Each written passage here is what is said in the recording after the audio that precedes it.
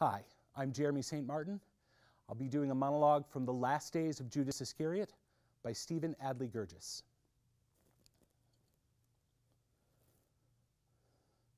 I'll tell you what I know. I watched you trip over your own dusty feet, trying to heal the sick, the blind, the lame, the unclean. Any two bit stranger stubs his fucking toe.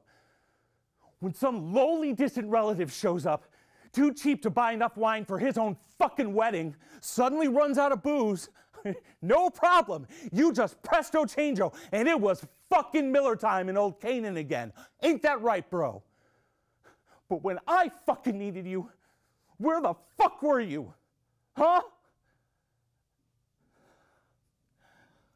All I know is you broke me, unfixable, and that I'm here.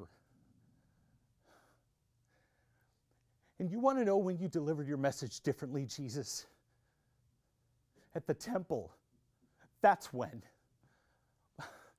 And you were beautiful there. You walked out of there three inches taller, and we all saw it. I loved you. That's all I did.